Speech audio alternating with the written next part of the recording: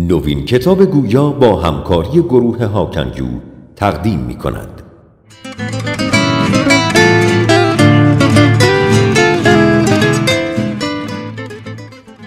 چگونه قور نزنیم مترجم مرزیه قریشی از مجموع مقالات وبسایت هاکن یو گوینده متن کاوه یانقی.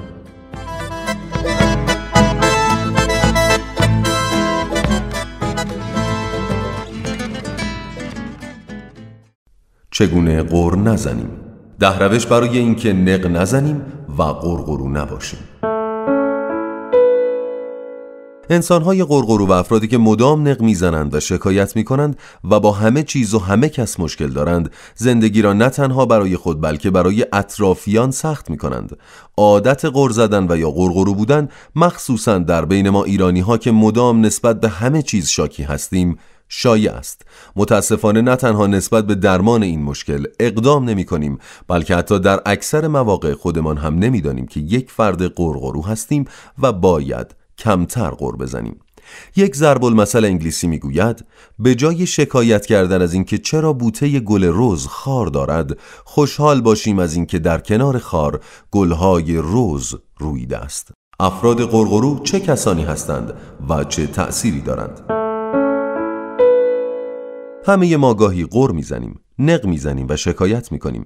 حتی اگر ادعا کنید که شادترین آدم دنیا هستید گاهی اوقات از بعضی اتفاقات شکایت می کنید اولین تأثیر فردی که مدام غور می‌زند تلخ کردن زندگی به کام خود فرد است و در مرحله بعد تلخ کردن آن به کام دیگران. گاهی اوقات حتی متوجه این موضوع که مدام شکایت می کنیم نمی شویم و خوب می دانید که این عادت تا چه اندازه می تواند شخصیت شما را زیر سوال ببرد.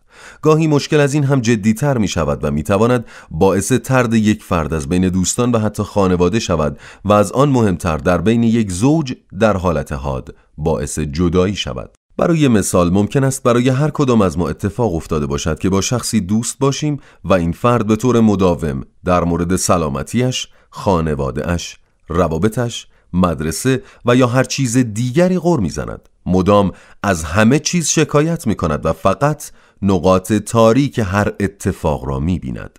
وقتی با آن شخص وقتمان را میگذرانیم شدیداً احساس خستگی می کنیم. این رفتار افراد به راحتی بر روی ما هم تأثیر گذار است. مهم نیست شما چه می‌گویید یا چه کاری انجام می دهید. چون این اشخاصی با هیچ چیزی دلگرم نمی شوند. ممکن است هیچ شرایط دشواری وجود نداشته باشد که آن شخص نتواند از آن عبور کند. اما نگرش منفی او مسائل را بدتر می کند حالا چه اتفاقی می افتد اگر شما آن شخصی باشید که در یک نگرش منفی گیر کرده اید؟ مدام نقاط تاریک را می بینید همه ما در این شرایط بوده ایم. روزهایی وجود دارد که همه چیز اشتباه و به هم ریخته به نظر می رسد و شکوه کردن ساده ترین کاری است که انجام می دهیم. قر زدن آسانتر از حل کردن خود مشکل یا اقدام برای برطرف کردن مشکل است. تازه اگر آن مشکل واقعا مشکل باشد و از جانب شما بی جهت مورد شکایت واقع نشده باشد. اما در واقع وقتی شما سعی کنید مسائل را از دیدگاه های مختلف ببینید و خودتان را به چالش بکشید می توانید قر زدن و شکایت کردن را متوقف کنید. اگر کم و بیش احساس کرده اید که زیاد غور می‌زنید و یا دیگران گاه و بیگاه این نکته را به شما گوش زد کرده اند باور کنید زندگی و معاشرت با افراد قرقرو سخت است. بهتر است همین امروز برای درمان آن به فکر چاره باشیم و البته ما اینجا برای شما ده نکته برای برطرف کردن این مشکل و در نهایت شادتر کردن زندگی مهیا کرده ایم. چه کار کنیم که قور نزنیم؟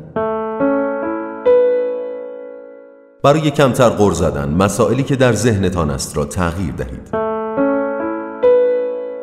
قطعا گفتن این کار از انجام دادنش آسانتر است. مغز ما تمایل شدیدی به افکار منفی دارد مانند نقل قولی که در ابتدای مقاله آورده شد. ما در ابتدا خارهای گل روز را می‌بینیم به جای اینکه متوجه زیبایی گل شویم. به جای اینکه بگوییم چگونه در کنار این خارها گلی به این زیبایی رویده است ذهنمان درگیر این است که چرا در کنار گل خار وجود دارد. ذهن آگاهی و نگرش مثبت داشتن نیاز به تمرین دارد. وقتی می‌بینید در حال منفی بافی راجع به یک شخص یا یک موضوع هستید صبر کنید و خودتان را مجبور به گفتن یک نکته مثبت کنید. می توانید از یک دوست شاد و سرزنده کمک بگیرید. تا هنگامی که در حال غر زدن هستید شما را متوقف کند و کمک کند تا جنبه های مثبت را ببینید. به هر حال چه با کمک گرفتن از یک دوست یا عضوی از خانواده چه با یک برنامه جامع برای مثبت اندیشی و چه ایجاد شرایط مناسب برای دست کشیدن از نگرش منفی باید تمرین کنید که مثبت تر باشید. هر چند وقت یک بار به خودتان اجازه درد و دل کردن بدهید. نادیده گرفتن دائمی افکار منفی باعث می شود این افکار روی هم تلنبار شوند. افکار منفی از کوچک تا بزرگ باید کم کم از همان دری که وارد شدند خارج شوند. اگر واقعا در شرایط ناآرامی به سر می‌برید بدون نگرانی احساسات خود را با یک دوست نزدیک یا اعضای خانواده یا یک روانشناس در میان بگذارید. از اینکه احساسات منفی خود را به زبان بیاورید خجالت زده نباشید. بسیار مهم است که برای اتفاقات کوچک و بزرگ که نگرش شما را منفی می کنند راه حلی پیدا کنید. آنها را رها نکنید. کمتر قضاوت کنید ما اغلب در مورد دیگران شکایت می کنیم مدام از دیگران ایراد می گیریم و مدام ایرادهایی را به دیگران نسبت می دهیم اما سوال اینجاست خود ما چطور؟ مدام فکر می کنیم که آنها مطابق با استانداردهای ما نیستند و افراد یا اتفاقها مطابق خواسته های ما پیش نمی روند. در مورد اتفاقها افراد و هر مورد دیگری بدون اینکه دلیلش را بدانید قضاوت نکنید دلیل این اتفاقها و رفتارها را از خودشان بپرسید و در نهایت مدام نیم نگاهی به خودتان داشته باشید و ببینید که خودتان در این زمینه چگونه رفتار می کنید امروز از مادرتان به خاطر غذایی که تدارک دیده و کیفیت لازم را ندارد شکایت می کنید و روز دیگر راننده تاکسی را به دلیل نداشتن مهارت لازم رانندگی متهم می کنید از سوی دیگر برادرتان را به دلیل خوب لباس نپوشیدن زیر سوال می‌برید و روندی که ادامه دارد. اما آیا می‌دانید مادرتان چه روزی را پشت سر گذاشته است؟ خودتان تا چه اندازه در رانندگی مهارت دارید؟ قبل از خارج شدن از خانه نگاهی کلی به لباس و ظاهر خود دارید؟ چرا برای بهتر شدن کیفیت غذا کمی به خانواده کمک نمی کنید تا با دقت و وقت بیشتری به طبق غذا پرداخته شود؟ چرا پیشنهادات لازم را برای بهتر شدن ظاهر برادرتان ارائه نمی کنید؟ برای رهایی از این مشکلات باید یاد بگیرید و البته تمرین کنید. که قضاوت نکنید. به جای قضاوت کردن به فکر راه چاره باشید. یک لیست از اتفاقهای خوب روزانه تهیه کنید.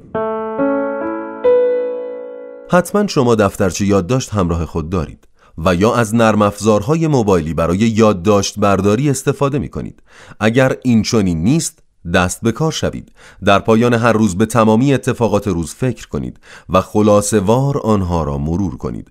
مطمئنا از میان تمامی این اتفاقات به مواردی از اتفاقها رفتارها و البته نکات خوب از جانب خودتان و البته دیگران در قبال خودتان می رسید آنها را هر شب یادداشت کنید. خودتان دست به کار شوید. دفعه بعد که با خانواده دوستان همکارانتان و غیره هستید و شکایت و گلگی در ذهنتان نسبت به یک رفتار یا یک اتفاق داشته اید خودتان دست به کار شوید. اگر فردی حقوق شهروندی را رعایت نمی کند و زباله‌ای بر روی زمین می اندازد به جای غر زدن با خودتان و یا دیگران خودتان دست به کار شوید و زباله را از روی زمین بردارید. اگر مدیرتان با شما بلند و خشمگین صحبت می کند شما با همکاران و افرادی که زیر مجموعه شما هستند مهربان و آرام صحبت کنید. اگر کسی در منزل نسبت به تمیز کردن اتاقها اقدام نمی کند شما خود دست به کار شوید. اگر مدام از دوستانتان به دلیل معدب نبودن به دیگران شکایت می کنید خودتان موضوع را به وی گوش زد کنید. خودتان اتفاق و تغییری باشید که دوست دارید اتفاق بیفتد. البته قبل از اینکه خود دست به کار شوید مطمئن شوید که آیا این اتفاق تنها از دید شما صحیح است و یا دیگران هم دید مشابهی نسبت به این موضوع دارند. لزوما قاعده و قانون شما در رابطه با هر چیز دال بر درست بودن آن نیست. مسئولیت پذیر باشید. این قاعده هم تقریبا زیر مجموعی از مورد قبل است. اگر چیزی شما را ناراحت می کند یا آن را حل کنید و یا بپذیرید که اکنون هیچ کار دیگری نمی توانید انجام دهید. پس چرا غور بزنید؟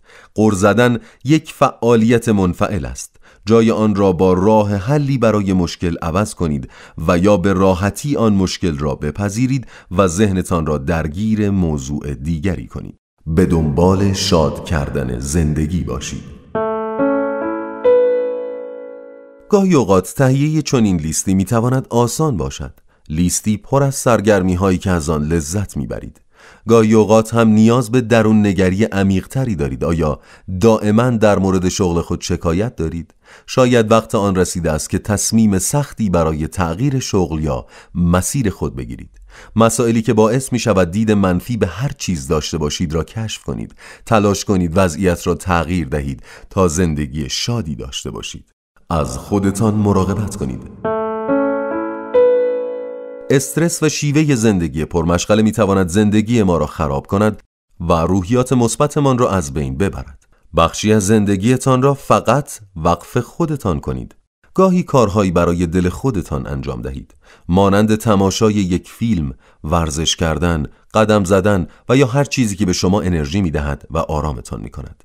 این کارها باعث می شود ذهنتان در چهارچوب جدیدی قرار بگیرد. هنگامی که می‌خواهید صحبت کنید به سادگی از خودتان بپرسید می‌خواهی قر بزنی یا شاد باشی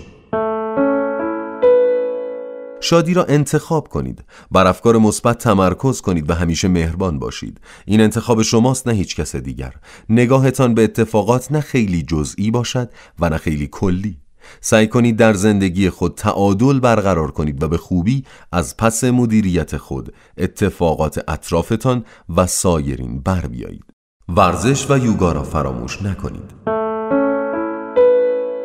ورزش منظم و یوگا یک راه حل عالی برای آرامش، تمدد اعصاب و تمرین ذهن آگاهی می باشد. یوگا بر تنفس، حرکات و مراقبه تمرکز دارد و به شما کمک می کند تا ذهن و بدن خود را کنترل کنید. ورزش هم تأثیر به سزایی در سلامت جسم و روح شما دارد. ذهن ما اغلب به میلیون ها جهت می چرخد. ورزش و یوگا کمک می کند تا چرخه افکارتان را آرام کنید و افکار مثبتتری را در ذهنتان پرورش دهید.